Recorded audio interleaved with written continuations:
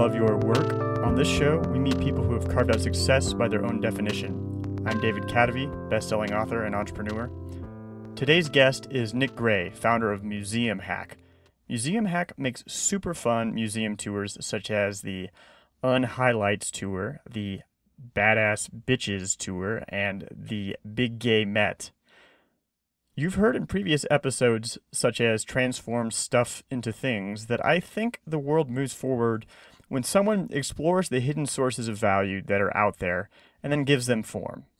And I've always found Nick to be great at doing just that, not only with Museum Hack, but also with everyday things like sharing an inventive Facebook birthday greeting or throwing a very rapid but worthwhile cocktail party we explore this tendency for extracting hidden value in our conversation in the context of upgrading your social life, using virtual assistants to take care of email while going for a walk, or just getting yourself to read more books.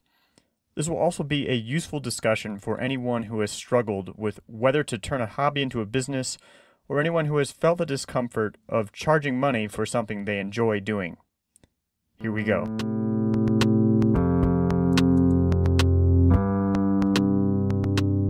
This episode is brought to you by Treehouse. Take your career to the next level and learn from over 1,000 videos created by expert teachers on web design, coding, business, and much more. Claim your free 14-day free trial at kadavy.net slash treehouse. You'll be supporting the show.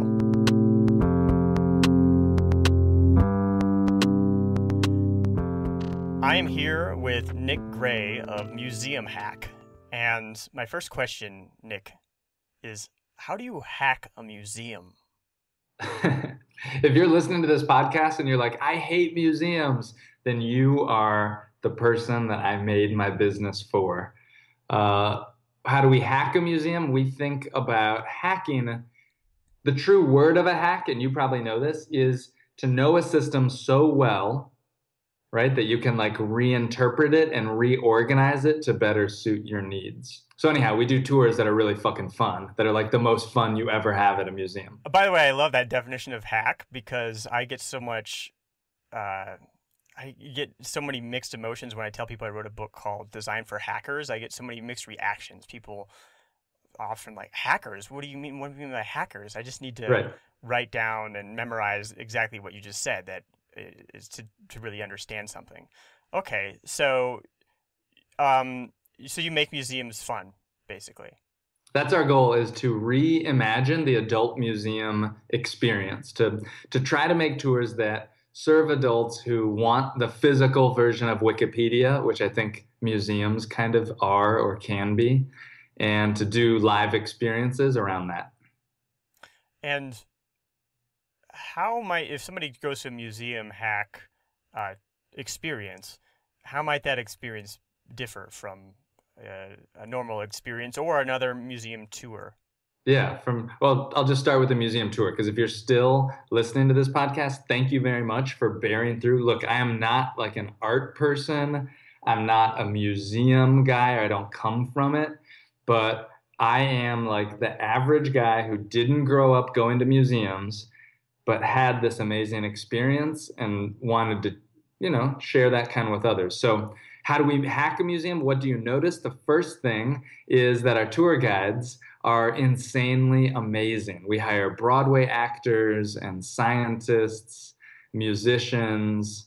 It's not like the regular, I don't know, I don't want to say poorly, but it's not volunteers. We pay them really well and we hire the best people to give amazingly so I don't know, small group engaging tours. That's what we do. Sorry, I'm blabbering. Yeah, I mean, I think that uh, it, it makes a lot of sense that the world has changed so much and people's preferences have changed so much and their expectations from what they do for entertainment have changed so much. But museums largely are, are have stayed the same. So it's like you're occupying this this little space that is in the ether uh, to to help bridge that gap between. Dude, yeah, one hundred thousand percent, right? Museums have been first important to know that museums are you know relatively a modern invention. They are something new, and so but they also haven't changed a whole lot, right? Over the last hundred years, they haven't really changed. And today, visitors are they have ADD like me, right? I'm on my phone every 2 to 3 minutes. I want interaction, I want entertainment, and that's what our guides do. The tours really are like edutainment of sorts, and they're just very very fast-paced. You hear like how excited I am speaking now that like our guides are way more excited than I am. Wow, that, that's great. I mean, I think that yeah, often on a museum tour, it might kind of give you the facts.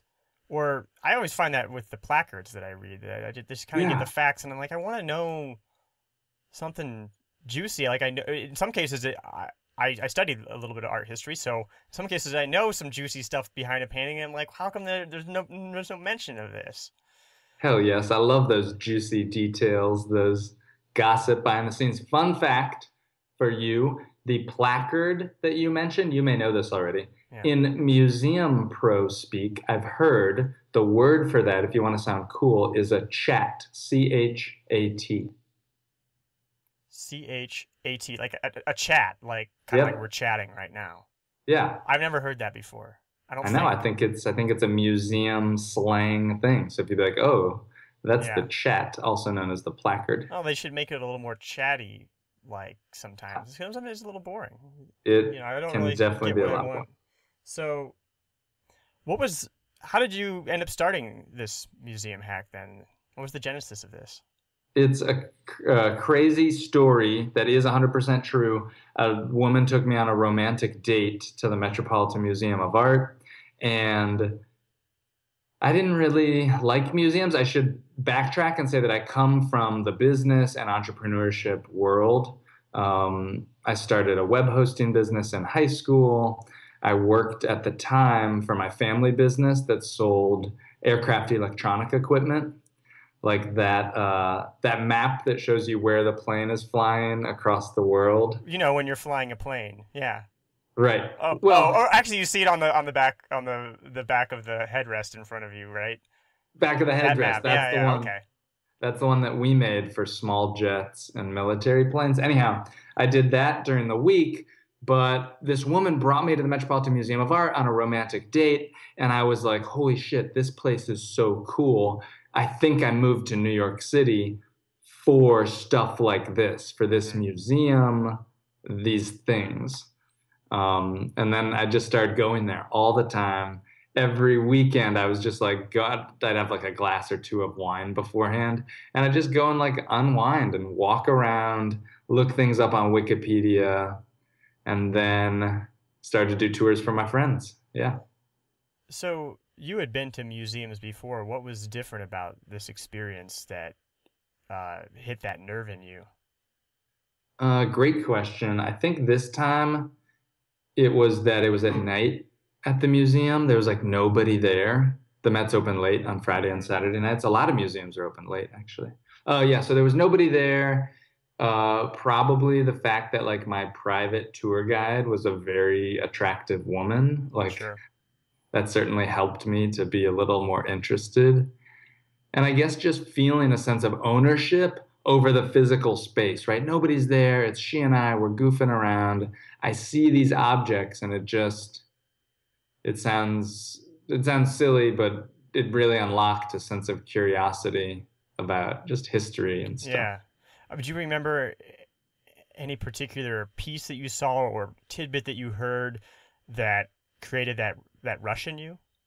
She took me to this room. Some museums have these rooms that are called period rooms that are entire reconstructions of like exactly how the room looked like a hundred or 300 years ago. And there was one room that she took me to that featured Rococo furniture and designs. Rococo, by the way, is just a fancy French word that means gold swirly shit. Um, yeah, the Rococo stuff is like a lot of excess ornamentation and such, right?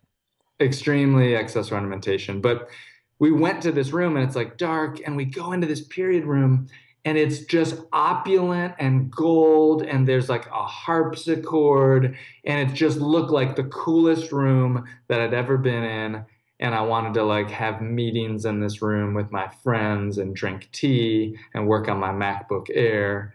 And it just felt like really cool. And I was like, oh, this is dope. Yeah, that that sounds like a really powerful moment, and I, I'm, I want to dig even deeper into that. Uh, was there, I mean, can you tie back your reaction to that, that, that sort of love or passion that you felt when you entered that room, to anything else that you've experienced in your life? I like that spaces. would explain why you liked it so much. I like spaces. As long as I can remember, I've liked to explore spaces that maybe I feel like I'm not supposed to be in. Um, I remember in high school, I found this grocery store that had closed down. We found like a back door that was unlocked, and we explored. It just felt so cool to have to be in that space. Um, and in New York City, it's oftentimes hard to. I mean, you're it's crowded, right? It's a rat. There's there's just millions of people, and it's so crowded. It was in this space that I found this like peace and tranquility, and just a real, just hundreds of years old. This connection to history that I don't get when my face is in my phone on my Twitter and Facebook and stuff. This was, I don't know. Mm-hmm. It's it, interesting that you have that curiosity about certain spaces, but you know, in an abstract way, you're exploring this space between the uh, the viewer of a museum and the usual museum experience, and you're kind of digging in there and creating this. You're you're in this little space that that isn't that hasn't been explored. Do you, do you am I making sense? Yeah, yeah, yeah. Look, my my whole thing, yeah, you're making total sense. My whole thing is to have the most fun at museums like as I possibly can have because I think that these days museum donors and everything, right? Like membership is dying out. They're they're quite literally dying out and the funding sources for these arts institutions are not not coming from where they used to come. And people today in this high attention economy associate museums with being very boring. I mean, not not everybody feels that way, but all my friends do. And so that's all that we try to do. Like, let's just have fun first. First and foremost, let's have fun. Mm-hmm. And then, you know, the education can come afterwards. We think that today's audiences have to be entertained before they can be educated. Yeah. And so you had this transcendent experience at the Met, right? The Met? The Metropolitan Museum of Art. Best. Yeah, yeah, the Met. And then in, at that time, you were during the day working with these uh, airplane uh, displays. Yeah. What what happened to, to make it so that today you are dedicated to this museum hack thing? I started to do these tours every weekend for my friends, and I wanted to be like the best tour guide in the world. I used to think I wanted to do tours for celebrities. I did a couple of those. That was really fun. Um, but my tours became very, very popular, and it was all like underground and secret. And then one day, a blog wrote about our tours. And so it like busted the lid off the cover. And the next day, a thousand people emailed me wanting wow. to join one of these tours, which was pretty crazy. So I started to recruit my friends to help me out they started to do tours too. Yeah, just became a thing. Eventually, we started to charge for the tours, which was like really stressful. So and... you weren't charging for the tours at first. You were just doing them for fun with your friends and friends of friends. How was exactly. all that spreading? Yeah, super fun. Friends would tell their friends. It was super informal and casual. We ran a tight game, but it also was free. It was just something fun to do for my friends and friends of friends. And were you putting a lot of time into research, or or how were you putting together the tour? I would not necessarily say that I personally put a lot of time into research. My colleagues today who work for me, we have like 25 employees, they do a lot of research and their tours are amazing. But my tours at the beginning were were basically the theme of my tours was like 10 cool things I found and three things that I want to steal. So not ultra sophisticated. I mean, that says a lot about the way people were, were reacting to it. If you were saying that that you weren't that you hadn't done a lot of uh, research, but people were still reacting in that way to actually come to the museum and, and go on your tour, and then now they're even better because there's all that research going on. Absolutely, yeah, yeah. They're the the tours are way better now, but we still focus on fun first and foremost. So, what was the moment like when you decided that you were going to start charging, try to make something out of this? Very stressful. I didn't want to do it. It's like turning a like a hobby, a baby, into a business. Yeah, I really fretted about it for a long time. And so, how did you reconcile that? um, I would compare it to having to like dating somebody new and avoiding that DTR, you know, DTR like a define the relationship talk. Oh, uh, okay, yeah. Where you have that talk and you're like, what are we? And those talks can go one of two ways. And for me, the DTR, the define the relationship of me doing these tours, I said, look, I want to get serious about this. I want this to be bigger than just me. And to do that, I need to charge, I need to be able to hire somebody who can run these so that it's not entirely reliant on me as a hobby. So it's a hard, hard thing to do. Ultimately, stuff shifts, right? Obviously, things change when you start to charge for something that was free and and it was very stressful, but I'm so happy we did it. I'm so happy we did it. I cannot even imagine if we didn't do it. Yeah.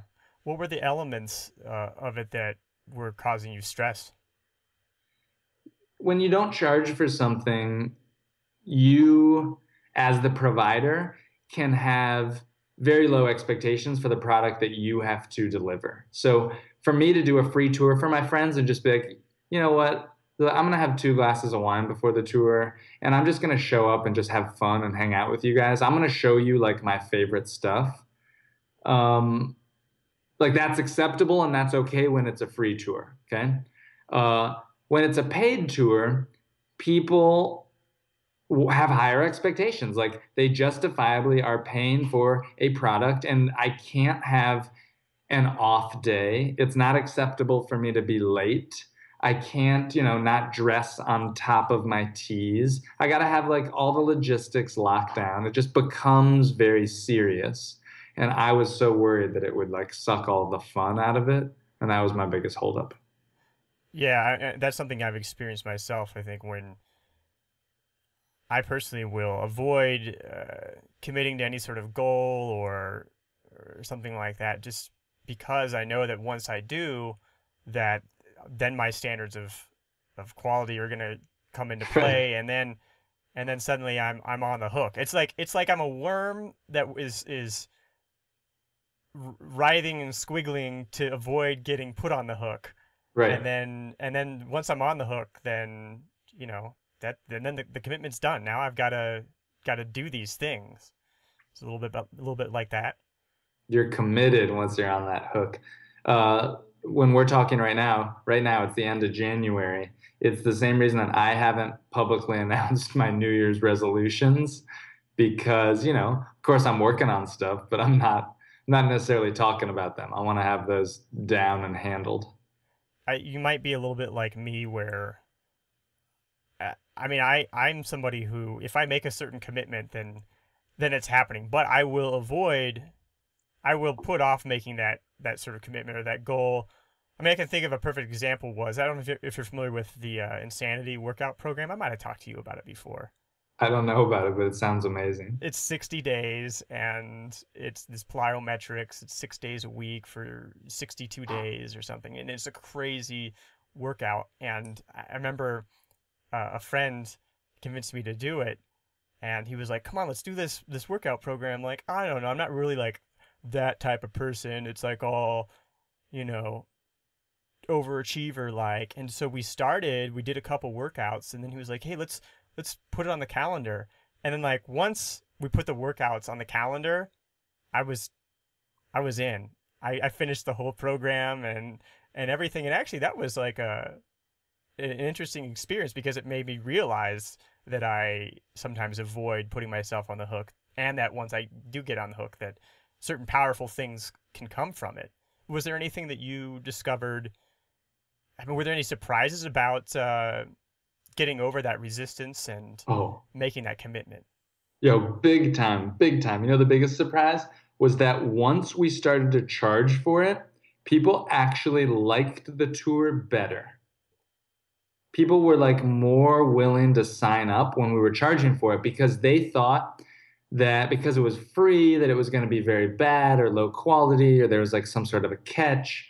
It was a lot harder for us to get new people when it was free now that I think about it. And I could not believe that. Ramit actually told me about that, about like how you raise the mm. price and stuff and how people really value it. And I found that was spot on. Yeah, once you increase that commitment, people then people have to get in over their own threshold of commitment. If it's free, then maybe they don't feel so bad about not showing up on time or mm-hmm. not really paying attention during it or something. But then when you charge for it, they have to internally get over their own uh, worm on the hook situation where, all right, do I want to pay this? Do I not? And then once they get over that, then there's then then that's when the the uh, sort of cognitive dissonance comes into play. Of all right, I paid for this, right. so I must like it. Right. Otherwise, I'm my self perception is going to is going to be harmed in some way. Yep. Um, so, so yeah, that that's so people actually enjoyed it more, and then you had money coming in. Yeah, people enjoyed it, and we started to make a business. And what was the moment like, or, or the day like, when you decided, I'm done with this uh, aviation display thing, and I'm going to do this museum thing full time? That was a difficult decision. I'd worked like any massive life decision. There's never at least I feel like for most of my big life decisions, there's never been one straw that like breaks the camel's back. And so, me leaving our family business was a larger, more complicated story. But I think it really was that one weekend where the blog wrote about us, and a thousand people emailed me, and suddenly I got this mm, like almost like a fear that's like, wow, we're making something really good right now that entirely depends on me. If something were to happen to me, or if I got bored with this and stopped doing it, then like everything would go away. And that that want for this to be much bigger than me was really what caused me to double down on this full time. Wow. Okay. So it was this reaction that you had you had clearly struck some sort of a nerve because you know a thousand people email you and everything and so you thought to yourself if i don't do this then it, this thing isn't going to exist and people and people want it yeah yeah like i'm not bullshitting like this is the best museum tour in the whole world people were going bananas for it there was a big waiting list i mean it's a it's a really fun experience and we definitely hit a nerve that people i don't know they just wanted to have a fun museum experience. And was there anything about the prospect of pursuing this museum thing that appealed to you in ways that maybe the the family business of the aviation displays wasn't appealing to you? Dude, it was like night and day difference.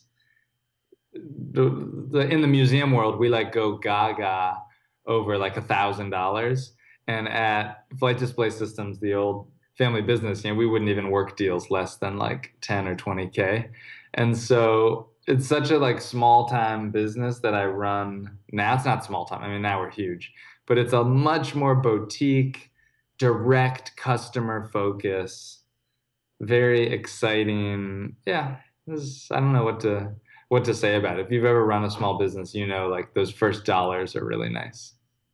And so did that just create sort of a, uh, more of an appreciation for the money that was coming in? What was, you know, what was, what helped sway you from, from uh, doing this previous gig to doing this present gig, gig, this business? Yeah.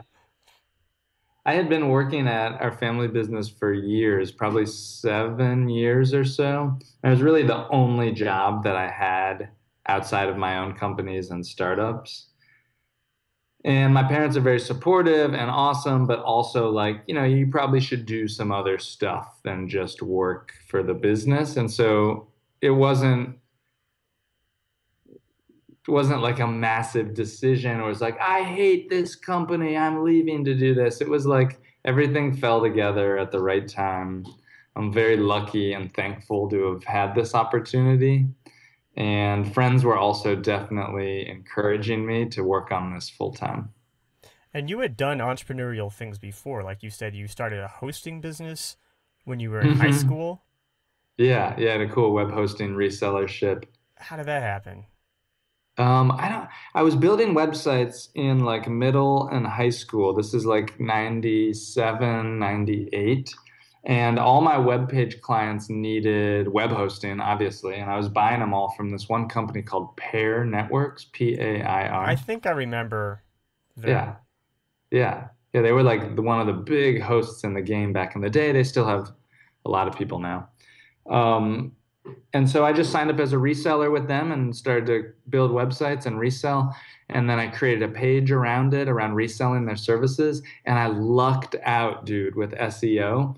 I got somehow when I was registering with Yahoo, when you search for cheap web hosting, um, for a couple months, my site was coming up first. And wow. Yeah, this is like 98, 99. I got know, in one week, probably got like 100 new customers. And for some kid in high school in the middle of North Georgia, you know, that was a pretty big deal. How old were you at that time? 17 or so. Yeah. Yeah. I was making like web pages, my own web pages back then, but I didn't, uh, I didn't have any clients. How did, I mean, it's interesting that you were reluctant to charge for the museum hack thing but you at you know 16 17 years of age decided oh i'm going to start finding clients and charging them to build them web websites. How did you even have the presence of mind to know that that was a thing that you could do?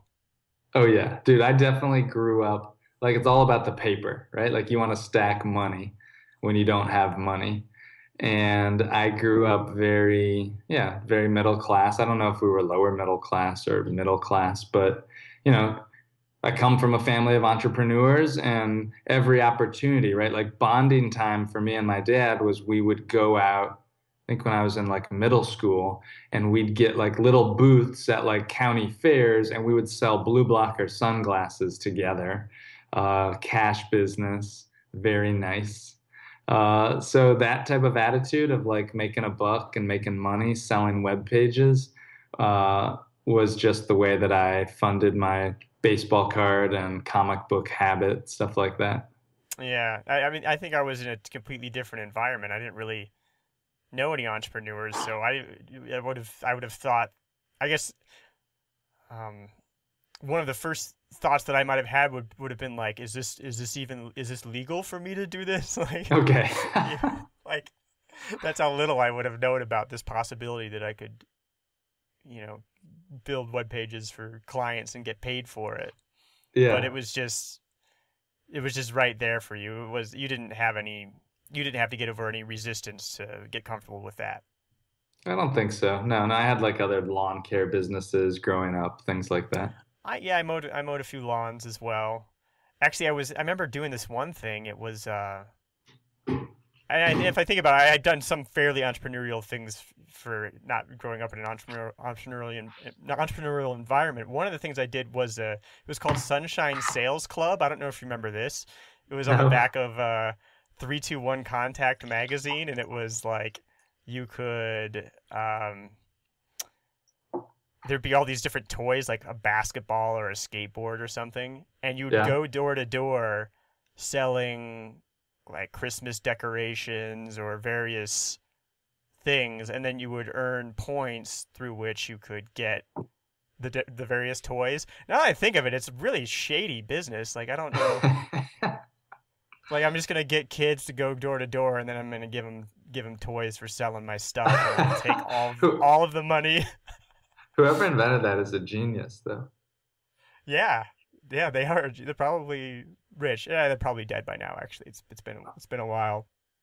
But I geeked so you, out a couple weeks ago. By the way, I geeked out about learning about like multi-level marketing companies um, because yeah. this girl I know from high school is like all about one, and she's like a really smart woman. And then and then this other woman I know does social media for this big company out west that does. Actually, I won't say what they do, but but they are just stacking paper. They're just making so much money and it's pretty interesting. They sell the dream of financial freedom, debt free living, and entrepreneurship when in reality, like 0.1% of people actually make money on it, right? Yeah, but it's still possible. You know, it's still possible to right. make a lot of money. I mean, that's that's the American dream in a nutshell, right there. I don't know if the American dream is multi-level marketing, but yes, no. to do something, yeah. The, the, the odds of that motivation of like ah, there's a small chance that I'll become a billionaire makes right. it makes you willing to uh, to slog through things. Speaking of which, did you buy a lotto ticket uh, recently, or did you get like all up in the hoopla? I didn't. I mean, I was totally unaware of it. Uh, my my mother messaged me and said, "Oh, I bought a lotto ticket for us," and you know, right. so uh, I don't think that we won. Um, There's but... a huge Powerball lottery for anybody that's listening that's not tuned in. It was over a billion dollars. I'm sure you know. I didn't, I didn't buy realize that. Wow. Oh yeah, it was ginormous. But the value that like buying that ticket gave so many people to dream. What would I do with that money? That's worth it. Yeah, that, yeah, that's that's how they had that money to give away with to give away in the first place, I suppose. Right. Um. So I, feel like we could just this... talk for the rest of this podcast about how we'd spend a billion dollars, and that might be pretty fun. I don't. I don't know what I would do with it. I hardly uh, know. I mean, I don't even have that much money now, and I, you know, I've kind of run out of things that I that I want to buy. So, dude, I have nowhere near a billion dollars, but I you think live I in would. New York. I do live in New York. It's so expensive here. You can easily spend a billion dollars. You can spend a billion dollars in an afternoon in New York. You can. When I first moved here to New York, one of my friends told me how some people spend a thousand dollars on date nights and I was like, that is freaking ridiculous. How could you spend a thousand dollars on a date? And then like a few years later, I was like, all right, I can see how you could spend a thousand dollars on totally a date. Totally possible. Yeah. yeah. Not, not kind of disgusting, hard. but yeah.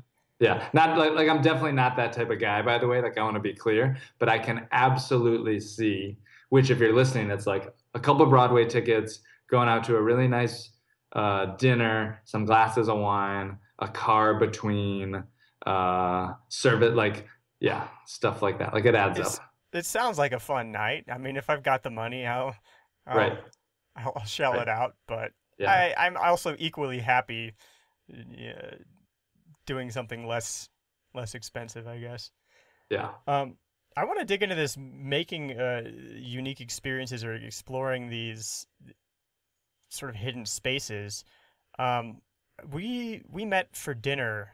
Was it dinner or lunch? Uh, a few months back over the summer in uh, in New York, and you showed up with like a sort of a PowerPoint presentation on your phone, and you you were like, okay, when did we meet? And I'm like, I, I tried to remember when, and he's like, and you said no, it was November 2000 right. whatever yep. the date was and then you went through this slideshow of what you've what I think maybe you had some stuff in there about me, and then you had some stuff in there about what you had been up to, and it was you had changed this experience of just meeting a friend for dinner into this whole other thing. Um, is that something that you that you do a lot, or was that just a little experiment? I'm like the worst friend. Like, like what friend do you have that like brings a PowerPoint or a keynote to a like lunch dinner meeting. Um, I like doing that. I, I, I learned about doing that from my buddy Charles Forman, who used to. Um, oh yeah, I know Charles. Yeah, yeah, who used to like storyboard stuff out on his iPad, and then I started to make them for meetings with friends and things. I don't know. I think life is a series of opportunities, and each one is a chance to make an experience that's memorable I don't do it all the time, right? I'm like the same guy that's going to go have lunch at that same restaurant, like with myself, with like headphones in, listening to a Kindle. Um, another instance of you creating a, an experience that was a little unusual was I went to one of your your curated cocktail parties, and you know it could part of this could be that it's just a New York thing that I don't understand, but it was the fastest cocktail party I had ever been to. It was I think it was like an hour and a half and there was a period of time there was great conversation there was a period of time when uh, we went around the room and everybody talked a little bit about themselves and then uh, and then at the end of it that the the end time you you know you came up to people and you said oh just you know politely telling you uh, to leave yeah yo get out get out of my apartment which i loved because i think that it, uh, this has prevented me whenever I think about entertaining or having people over. I think about, oh, it's going to drag on, it's going to take over the whole night. And this was a mm. weeknight that you did this. So I see it as. Anyway, I guess first I'll, I'll ask you about what your philosophy is behind a cocktail party such as that. And is that a New York thing or was is this something unique about the way that you run a cocktail party?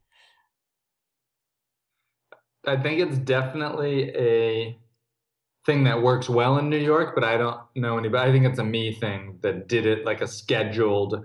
It's like the most formal, informal cocktail party. Here's what here's what happens. I let people know. Look, you can show up at nine o'clock to come have a nightcap, a glass of wine or something, but we will be done at ten thirty.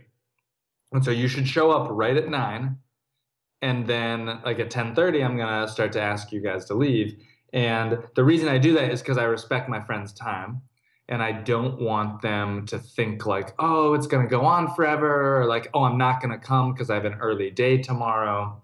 And so I run it like Loctite.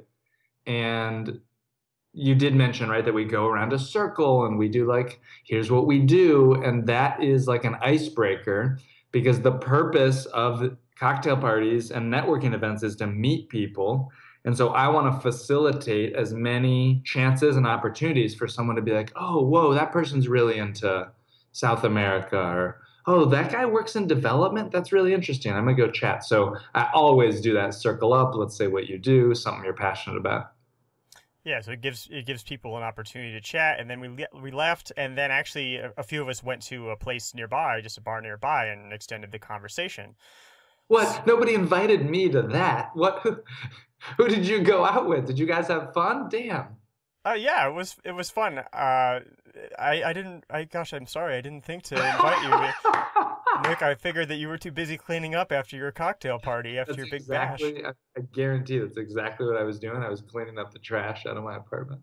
I'm yeah. glad you guys done that. But you were able to, you know, you were done at 10:30, and you were able to have a productive day at work the next day. I'm sure, and it didn't uh, interrupt things too much, and I think that some people will hold themselves back from have from entertaining at all because because they don't want to they don't want to tell people to leave their apartment is is a big part of it i think.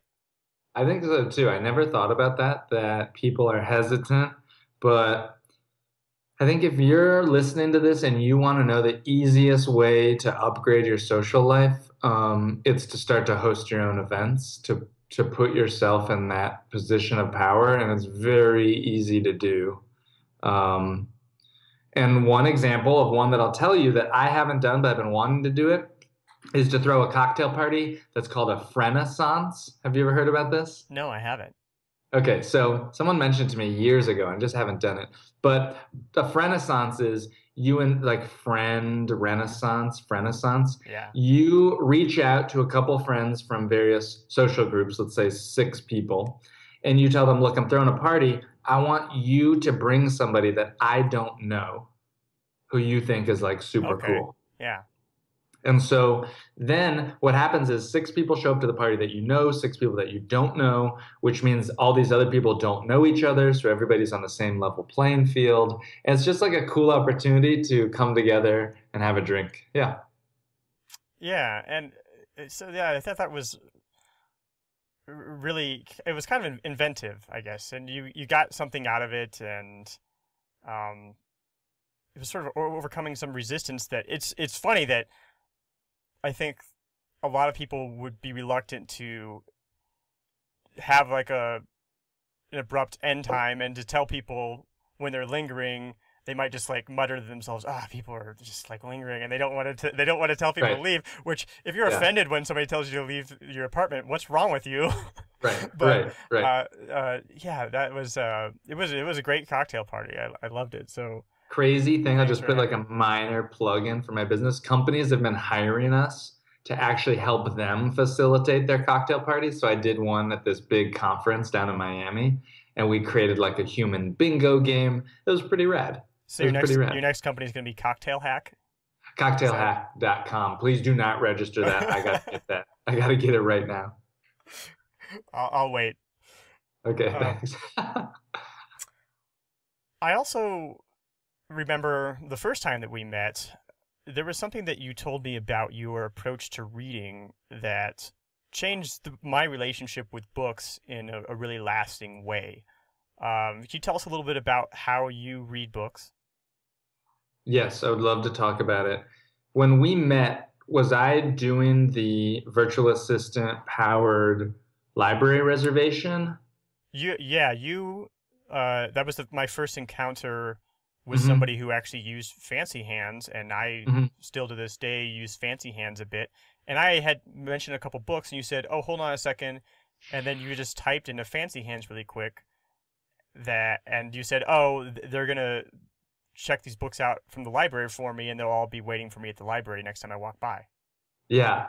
So, uh, great way that I use virtual assistants and just my local library, which massive kudos to the New York Public Library. But many cities actually have amazing libraries that you can just request books to be borrowed. So, whenever I read or heard about a book or somebody mentioned it, I would put it onto an Amazon wish list, and then occasionally I would queue up Fancy Hands to go and pull everything from my wish list and check it out from the New York City Public Library for me. And that happened sort of automatically. And so I knew that basically whenever I went walked by the library in my neighborhood, there'd be cool books that I heard about waiting for me to come and check out. And I'd grab those books and I'd keep the physical stack of them out on my table because I realized there was something so much more powerful than the physical representation of the book to remind me about it than just having these books on my Kindle. Yeah, exactly. And so, but I also recall you, one of the powerful things that you mentioned was that, oh, and I'll just take the stack of books and I'll pick up a book and I'll look at it for a minute or two, and then I'll pick up another book and I'll look at it, and then Yeah. eventually I'll sort of settle in on a book. Is that I still do that now. That's it? huge for me is to uh, read books like you read magazines, to not be tied to one, to not just try to read one book at a time, to not be afraid to. This is the biggest thing is people start these books and then they think they have to finish it. And now I'm a complete 180 on that. If I read a book, I'm reading one right now, I'm probably going to put it to bed tonight. I'm just not not into it after 5 or 6 chapters and I'm not going to feel guilty that I have to finish it. Yeah, I think this is another one of these cases where somebody's uh, fear of doing something, one something about it that that, that will make them un- uncomfortable. In this case, starting a book and then not finishing it, they sort of throw out the baby with the bathwater and then just don't read the books. Yeah. Or- I just came up with a new slogan for me for my strategy of reading books. The slogan is I'm a quitter. yeah, it's it's good to to be comfortable with quitting books, especially um and I, this is going to repeat a little bit of I think what I heard uh, Naval talk about on the the Tim Ferriss Yes, podcast. I don't want to, I don't exactly. want to, but it was funny because what he mentioned was like, oh my god, I, I wrote an article about that in in the Observer, but uh, he had, he had put into words some things that I hadn't touched on, which was or thought about even, which was that we have a habit of info snacks, and then couple that with the fact that some of us are afraid of quitting a book, Right. and then you just have a total just you're not going to read books at all because it so he inverts it and this is a lot the, the way that you do it and, and the way that I've learned to do it which is to reduce the resistance to getting the books in your hands and once the books are in your hands then just go ahead and be fine taking little snacks from them I completely agree. That his interview, eh, which I actually wrote up and transcribed on my blog, would really help me to just buy books. Also, Ramit's thoughts about like, yo, if somebody recommends a book, just buy the book. All you need is one good idea for it to be worth the $15 that it cost. Yeah, Ryan Holiday also has that philosophy. I, hopefully, I'll be interviewing him soon for it. And I've tried to take on that philosophy as as well. It has become so many books that I, I do do the wish right. list sometimes.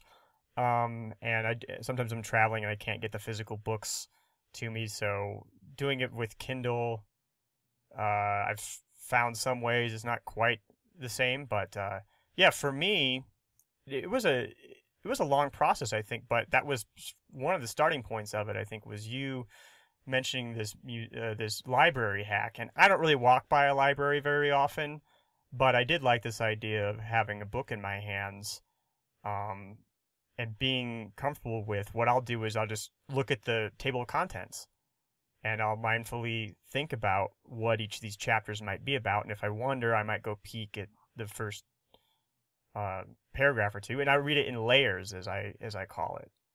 Um, I like that idea. Yeah, I get the first layer, and then sometimes there will be a chapter. I'm like, oh, that's the chapter that I want to read. So I'll just go right to the middle of that. I'll just go right to that chapter. I'm gonna read that chapter, and then really, it's it's up to the book to pull me in with its relevance. You know, I still the the counterintuitive thing is that doing this got me doing more reading where I actually do sit down and read linearly, where okay, enough little nuggets from a book have pulled in my curiosity that I want to read it cover to cover now, and I can do so without having any sense of FOMO or anything because I know that it's a good book that I want to read. How cool will it be when people start to quote? So now, right? Like people quote so many articles on Twitter and they like do those screenshots of highlighted things from articles. Wow. I wonder when that'll start to happen with books, right? That'll be pretty interesting. Yeah, there's. I mean, you can do it a little bit with Kindle for Kindle, iPad. Right? Yeah. Uh, it's it's not very. Yeah, it's not a very elegant process. I know there was a, a company that created a cool product that doesn't exist anymore called uh, Readmill, and they were, I think, trying to get people to do more of that. But I've definitely found that as I'm I highlight a ton. Cool. In my Kindle, and I'll go back through the highlights just to, um, and I'll compile uh, it as as research. I don't know if you've heard of the Commonplace book. That's a no. thing that Ryan Holiday does, where he goes back through and will write on an index card different interesting things from books, and then he just has like a huge case full of index really? cards. Yeah, apparently it's a thing that uh, a number of people have done throughout history. Ronald Reagan being one of them. Uh, just carrying around a suitcase full of these index cards full of different anecdotes and things like that. I've never heard of that before. I'll write it down. Called the Commonplace Book. Yeah, he's got an article about it. Uh, oh. It, it's it's something that uh, I've experimented with because that's another thing is you you read a book and sometimes you forget the stuff. So this helps you get it into your head and the things that were that you, that were interesting to you. Like I I have this thing now where I just, if I feel some sort of a tickle in my brain, I just dog ear the page, try to go back through and process it. Um, one of my litmus tests is I want to be, I will sit there and talk out loud uh, and say, and summarize the book. Because I, I've been to too many cocktail parties okay. where I'm trying to tell somebody about a, when I'm trying to tell somebody about a book. Does yep. this ever happen to you? And you try, to like, oh, this book's great and then somebody asks you what it's about, and then you realize you don't know, have any idea. Right, you, right, right. You're like, how do I explain this? No, I love that. I've never heard of somebody who who talks out the book summary, but that is freaking genius. Well, yeah, and I might do that with the table of contents itself. Or I might look at um, the the title of a chapter and say, all right, what is that about? Maybe it's about yeah. this, and then I'll no, I might even try to guess. Sometimes they have the cutesy chapter titles, which make it difficult to tell what the chapter is about. Right. Um, and then you just you go read the first paragraph. You try to find there's there's one sentence in there that basically summarizes what that chapter is about. And you just try to find it, say yeah. it out loud, and try to just summarize the argument of the whole book. And it, it totally changes the relationship with the book. And it you know and and you started it. you started it for me. I think with this this book reading hack of yours. Well, thank you, thank you very much. It definitely helped me read more books. I say that I'm I say that I'm a quitter for reading books, but I've read way more books than I do than I used to in the past. Yeah.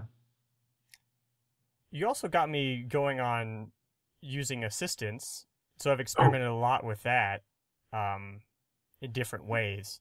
Some some things have worked for me, some things have not. Um, what are some of the things that you use assistants for? I love to talk about virtual assistants. This is one of my favorite topics of conversation ever. You perked up. Yeah. Oh man, I definitely perked up. Yeah, no, it's kind of hard to talk about books, but but like VAs, I'm down. I love to talk about this. I use Fancy Hands all the time. I used to use Zirtual. I use a service called Upwork to hire freelancers.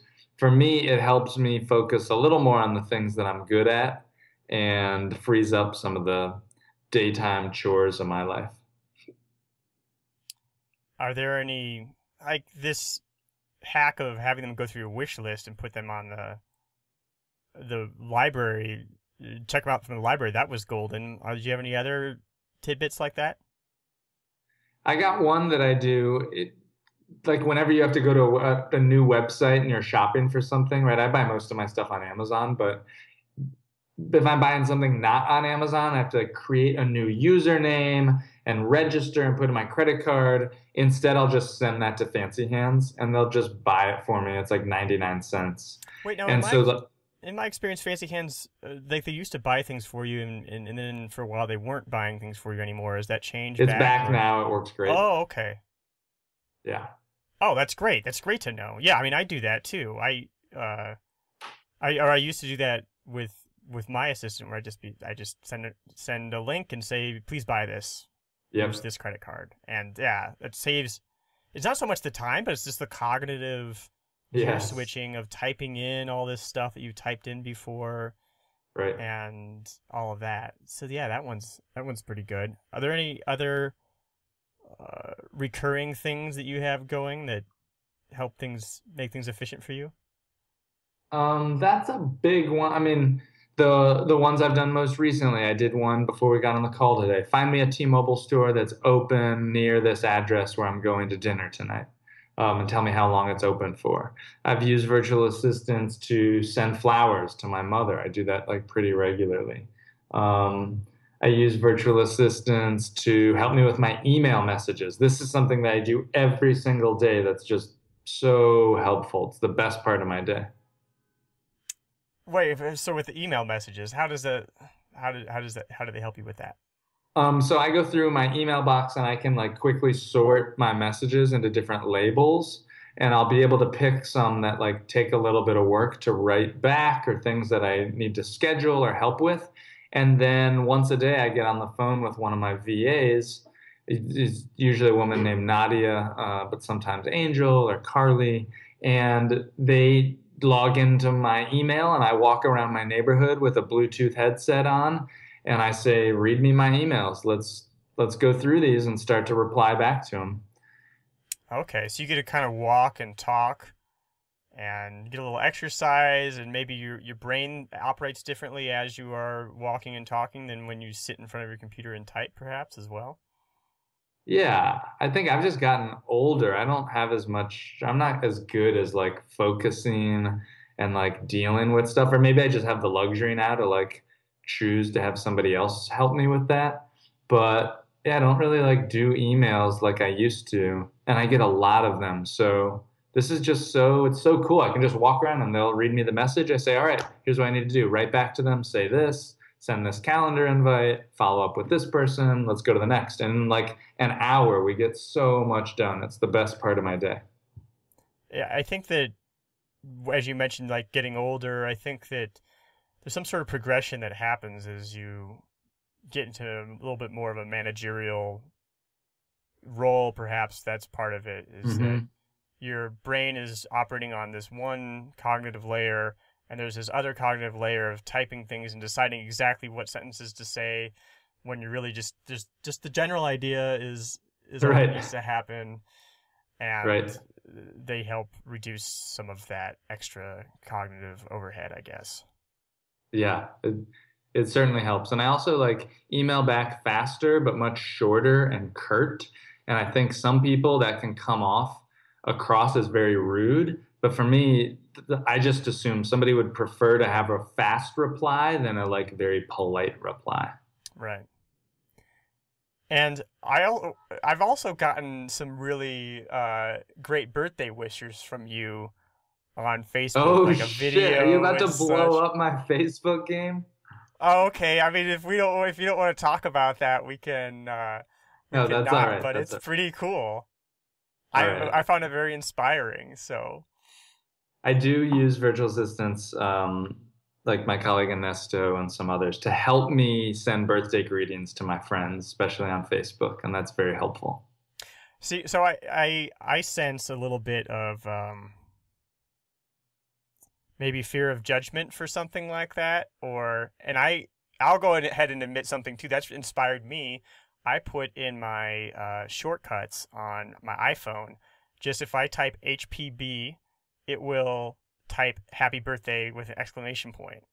Oh, so if I go on, smart. f- yeah, so if I go on Facebook, I like I think that just type, simply typing "Happy Birthday" is is less ideal than what I would like to do, but it is, but it's way better. It's a thousand percent better than than nothing. Like it's the if if the thought if it's the thought that counts, then you know this should be just fine. So I'll go through and on the wall. But I have considered looking through a month in advance and saying, all right, these these are the folks that I want to wish happy birthday to, and having somebody else wish it. I mean, it's it, it's funny because I sense in myself a little bit of a fear of judgment of doing that because something about it seems unsavory or but it's really if you think about that you know we used to go buy a card and then you write the card Right. and then you send it and then somebody opens it and it's a different time you're still putting in a certain type type of effort and a person is getting it at a particular at a different time than when you're putting in the effort it's not really a whole lot different you're you're wishing them happy birthday at least Right, right. We're wishing them happy birthday. I feel that. I feel that common thread with you that you're hesitant to do something like that, that you're hesitant to kick people out of your apartment. hmm, yeah, yeah. and yeah. And I don't know what to say about that besides maybe that's like the New Yorker that's in me that's like whenever I go home to the suburbs in North Georgia, someone will be like at a a green light and not moving. And I'll be like, Mom and Dad, honk the horn at this person. Are you kidding me? And they're like, No, we don't honk here. It's like very polite. Maybe they're working on something.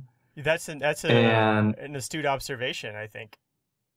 yeah. Um, I mean, now I've, I'm just like, well, I've I've spent a month in New York a couple different times, and, and I do like that. Um, yeah, that it's acceptable to go ahead and, you know, if somebody's in your, I guess I haven't really done a whole lot of New Yorker type things, but you can just you there's this understanding that you can that there's a, a finite amount of time and there's a finite amount of space and there are a lot of people and and get the the niceties out of the way. I mean, having grown up in Nebraska, right.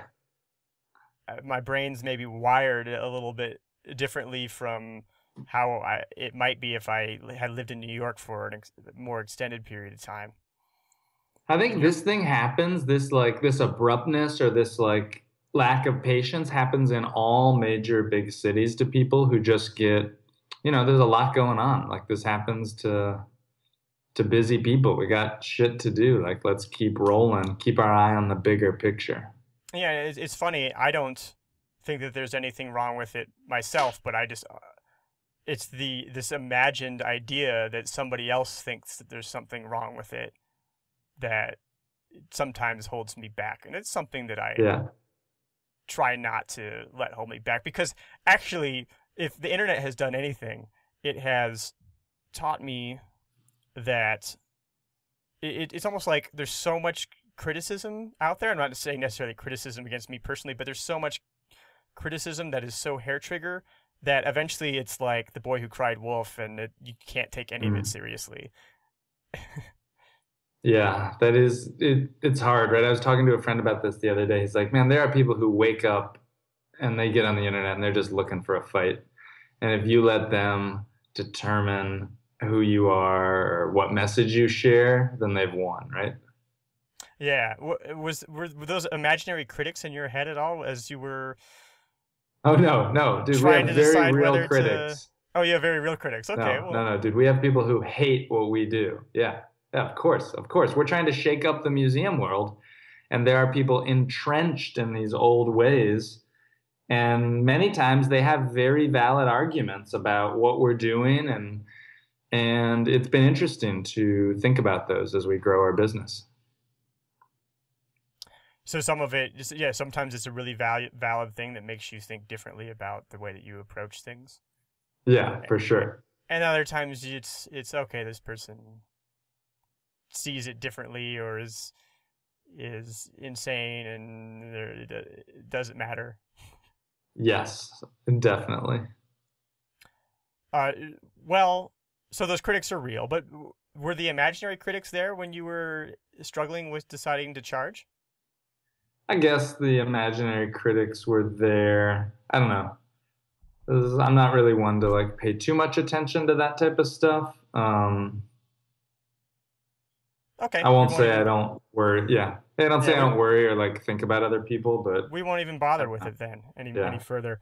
Um, one thing that is interesting to me that I think might be interesting to a lot of the people who are listening is that you're doing this thing that doesn't scale super easily, right? right? You're doing these like curated museums.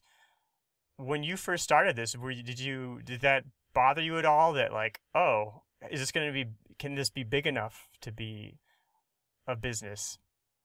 I definitely have a chip, or not a chip on my shoulder, but I'm jealous of a lot of my friends. I know you had Jonathan Wegener on here from Timehop yeah. recently. We have other friends who have very successful, scalable software companies. And this business is never going to be that, right? It's human powered and it doesn't grow easily, but I'm so lucky to do it. I feel like we're making a difference in this little museum world and I love doing it. I get to work with some of the most talented people I've ever met, these creative presenters. So I like what I'm doing. I'm happy with the trade off. What's the biggest compromise that you've made in building this business? The biggest compromise I've made in building the business is less alcohol.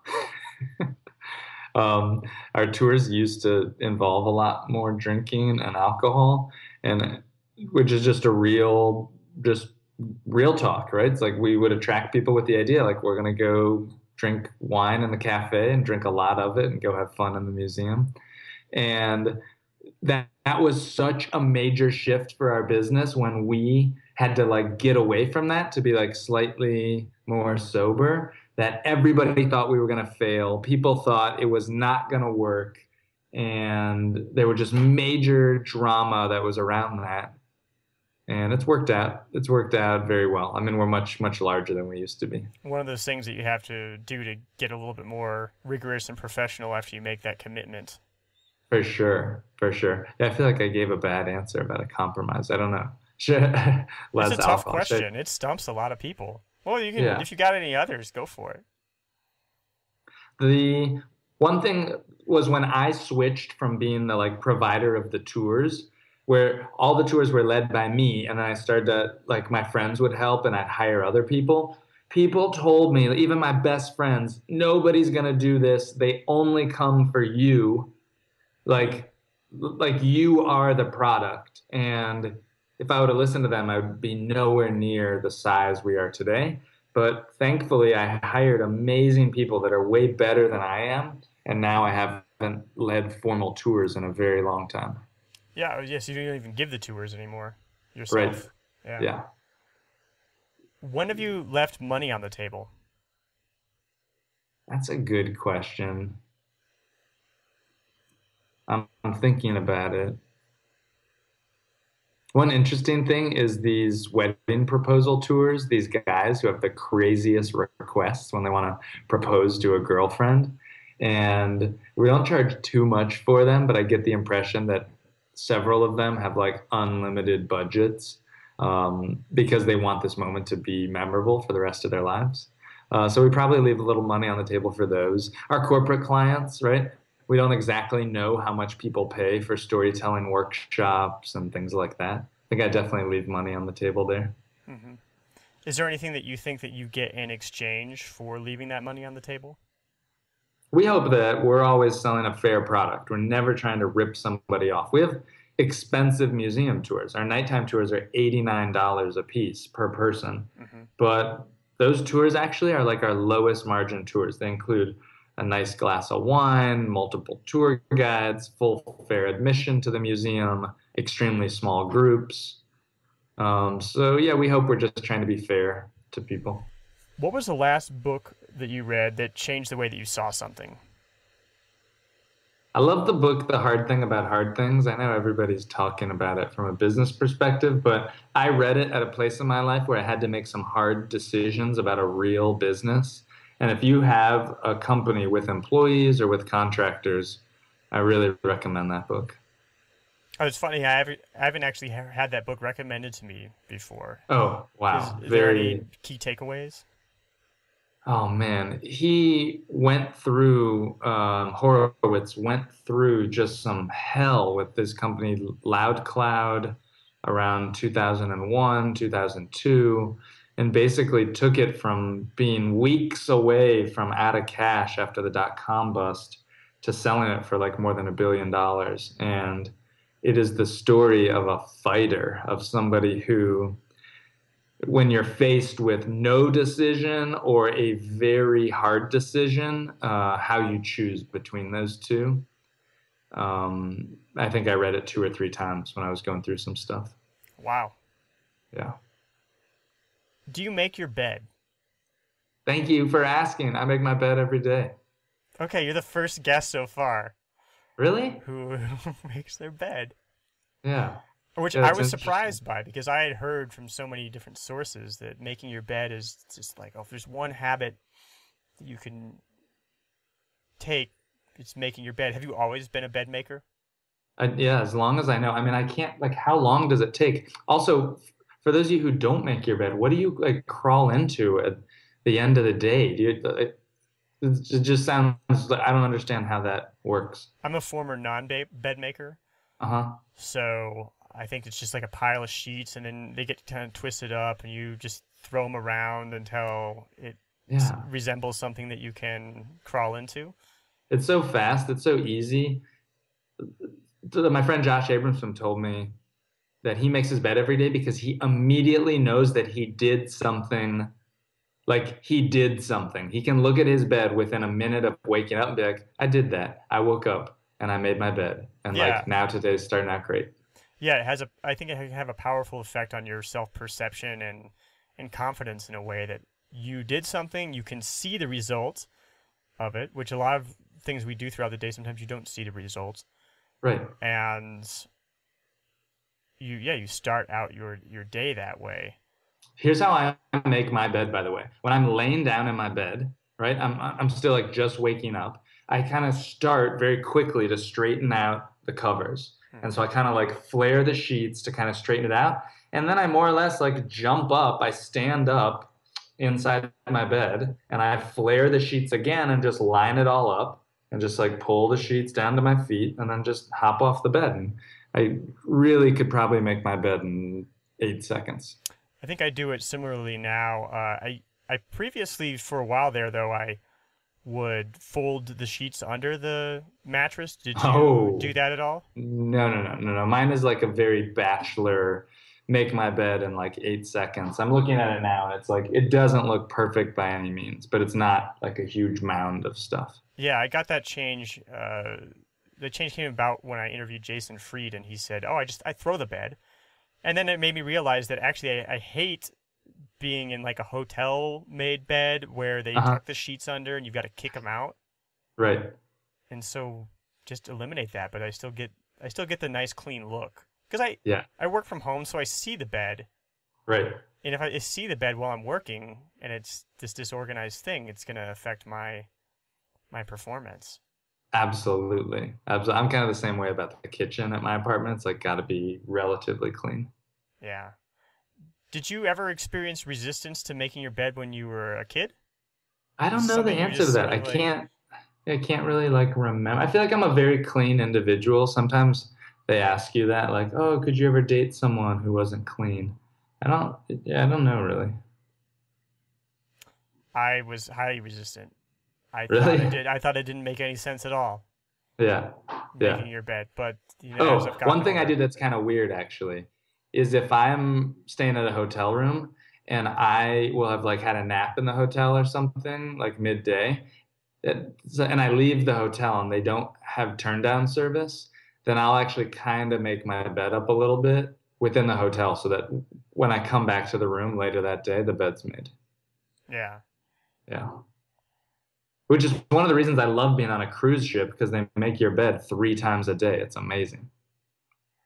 Do you mess up your bed three times a day on a cruise ship? Dude, of course. Dude, of course. What else do I do on a cruise? I eat, I work out, I sleep, and I read like all nonstop throughout the day. There's naps happening. You're sleeping in. They're doing turn down service. It's awesome. I've never been on a cruise, and I just always assumed that it's totally not my thing. Uh, I don't know. Yeah. Uh, what do you like about cruises? I feel like I don't want to. I feel like I'm alienating myself with you and with your other listeners. That like no people. Yeah. First, I like museums. Now I like cruises. Great. This guy's crazy. Well, I like museums too. All right, cool. So cruises is a way to feel like you're living in a big city with unlimited food, gym locations. It's just like so convenient, and you get to travel. I get so there's no place I get so much reading done as being on a cruise. That's the number one place I get reading oh, done. that's awesome. Yep. I did a huge cruise recently from Vancouver, Canada to Tokyo, Japan. That was awesome. Oh, okay. I think I remember seeing seeing that as like a, a thing that I could potentially have joined on, but I regrettably didn't. It was awesome it sounded like it was awesome. Do you have a final message for any of our listeners out there who are trying to carve out their own definition of success? When I started Museum Hack, I never thought that I wanted to make a business. I wanted to create the very best museum tour for my friends.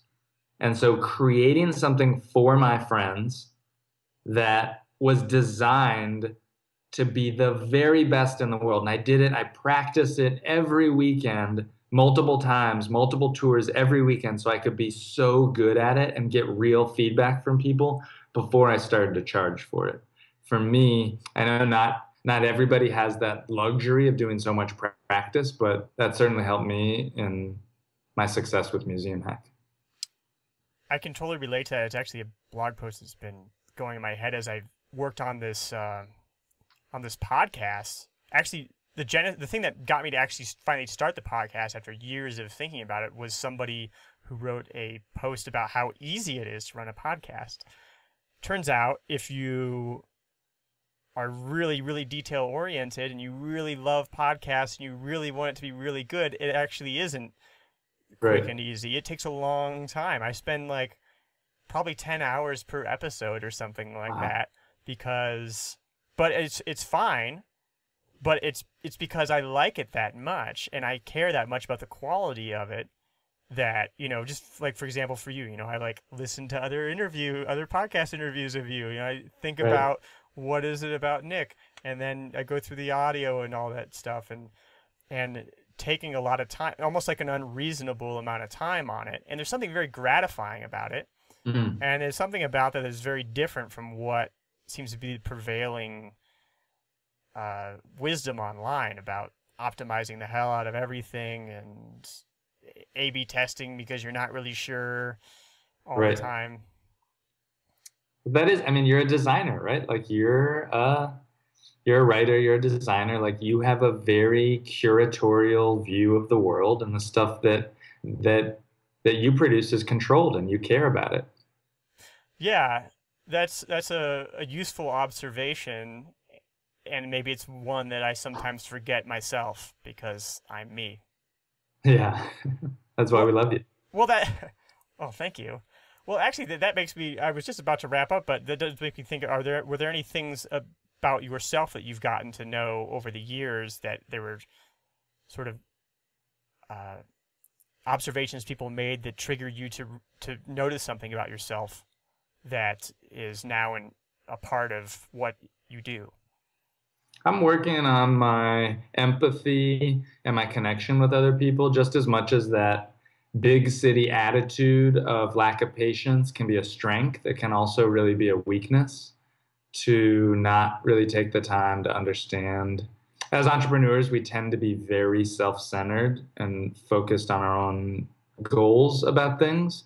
And as I've grown my business now, it's not about me being an individual contributor, it's about my team. And so it's been a hard learning process for me. No, I'm still learning. That's, that's, funny to me because it seems like you put so much uh, empathy or thought about the other person into these interactions that might not normally have it. Like a Facebook, yeah. you know, a Facebook uh, birthday message from you is sometimes a video where you're speaking to me directly or right, you know right. like your twitter there's you have a public twitter then you have like a private twitter you have a friends email list right, that you send stuff just to friends mm-hmm. um it's you you have this space in things that in mediums that sometimes make it difficult for a depth of interaction you find a way sometimes to increase that depth of interaction and i guess that extends not only is not only in the museums but also in these things like you know you've got your private Twitter, you've got your public Twitter, and right, um, right, things like that. So, thank you for acknowledging that, that. I try, yeah, yeah, it's definitely part of it, for sure. Oh, but I've just been. I yeah. thought maybe it was just like a natural thing for you, but it's something that you consciously work on. It is natural, yeah. But I'm more talking about um, decisions in work or like uh, who I got this feedback. This is uncomfortable to share, but I got feedback from an ex girlfriend who said, My best friends have hung out with you four times and they don't really know anything about you beyond like icebreakers. And that level of like superficial kind of interaction is, comes very easy to me because I facilitate so many group things but for me to drop my guard and really get real with somebody, I very much close that off. And to people, that tends to be a big warning sign, or they don't trust that if they can't see that. And so that's something that I'm working on hmm. is like just being a little more authentic sometimes. Yeah. I, I think I've I've gotten similar feedback before uh, in in the past, and it's something that uh, I don't know. It, it, can be facilitated by the way that we are in this technology world, where you have lots of weaker connections. Mm-hmm. But the, yeah, there's ways if you're conscious about it, as you as you know, to make a few a few connections that right. are a little deeper. Right? You have to be conscious about it. You got to watch. I've been been going through some hard times at work. This is one of our slowest months, and people will ask me like, "Hey, what's up? How are things going?" And I'll be honest. I'll be like, "Oh man, it's it's been a tough few weeks," and people are really caught off guard by that. Yeah. Because they're just trying to do small talk. And for me, that's like a little way of like showing vulnerability when I'm like ready to get real a little bit. I'm like, very very okay with sharing that sometimes and it really catches people off guard. I'm still figuring out the best way to do that. Have you ever tried that with uh, a clerk at say the grocery store? No not, not the grocery store. I try to make their their days great. Give them a compliment ask them right. how their day is going thank them for coming in stuff like that. When they say how are you? you just say fine.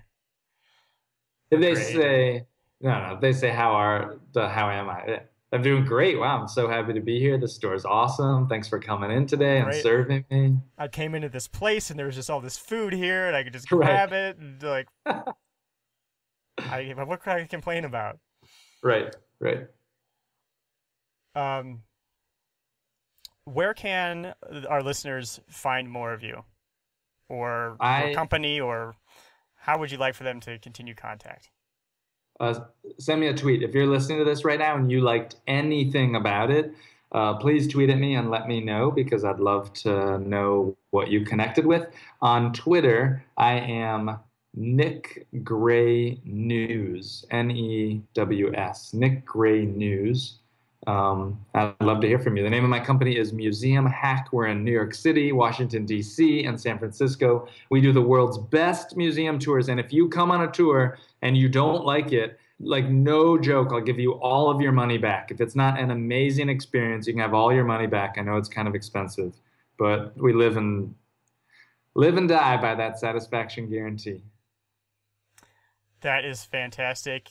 And thank you so much, Nick, for coming on and having this conversation. Uh, hopefully, sometime we can do it uh, again in person.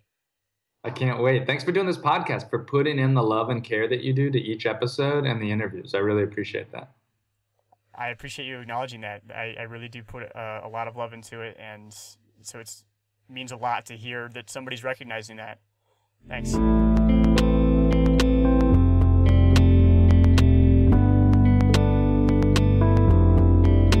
So, there we have it. Before I go, I gotta ask do you like books? If you do, I'd love to send you my book recommendations. About 90% of them will be nonfiction on subjects spanning from biographies to neuroscience. Just go to kadavy.net slash reading, sign up, and you'll get my first set of recommendations right away. You'll be supporting the show if you buy any of those books through the links in the email. This has been Love Your Work, and I'm David Kadavy. The theme music for this show is You, performed by the Album Leaf, courtesy of Sub Pop Records. Love Your Work is a production of Kadavy Inc.